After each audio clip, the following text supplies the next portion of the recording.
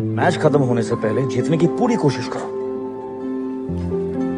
भागो, दौड़ो, खेलो, लड़ो, सब कुछ।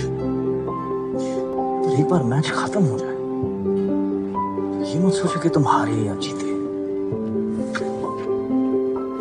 बल्कि अपने आप से ये पूछो कि did I give it my very best और नॉट अगर तुम्हारा जवाब हाँ है